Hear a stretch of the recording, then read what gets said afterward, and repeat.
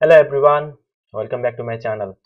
So today in this video we are going to learn about downloading ALOS PALSAR DEM uh, talking about ALOS PALSAR DEM ALOS PALSAR DEM is a uh, basically 12.5 meter resolution. It is a high resolution DEM so it is a radiometrically corrected DEM radiometrically terrain corrected DEM and it can be used in different activities in Q QGIS ArcGIS so you can do hillshade slope and, and many other analysis uh, hydrological analysis and many more from this DEM so basically you you might have been using SRTM that is that is 30 meter resolution. Now with this 12.5 millimeter resolution your accuracy in geospatial analysis might increase. So let's start our video uh, with uh, this tutorial so I'll go to google.com and search for ALOS PALSAR ALOS PALSAR DEM okay inside ALOS PALSAR I will go with the first link you can see in the first link and go to the find data.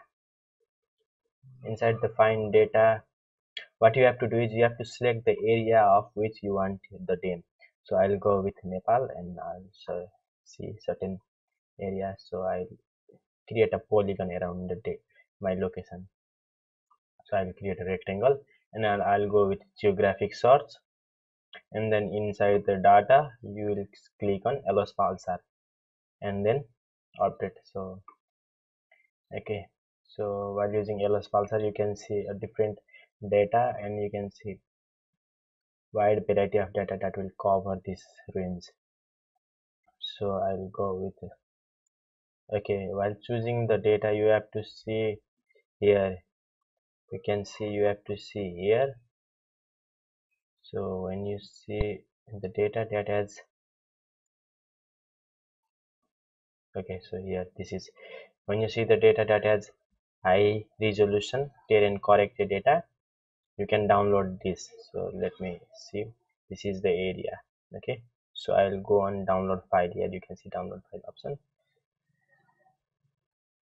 So for downloading you must have a website you must have a login account of nasa earth data. So when you click on download you will be directed to next website where you have to log in with nasa's id so if you haven't created an account you can directly create from there also. And after downloading the data i will give the folder where i will download my data. Okay? Mm. Let me give me my folder. Inside the DEM I will save here and then download. Okay now we have downloaded the data. So I'll go to the folder where I have downloaded and I will extract the data in this folder.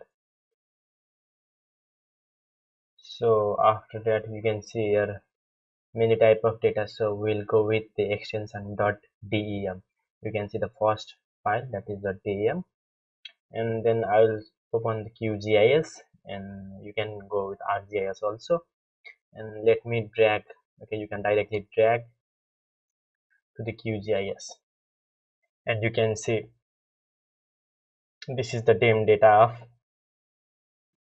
my location. So you can visualize it or you can go with hillshade data okay so in raster you can go with analysis and you can see hillshade and inside the insert you can go with the data. Okay so thank you very much for watching.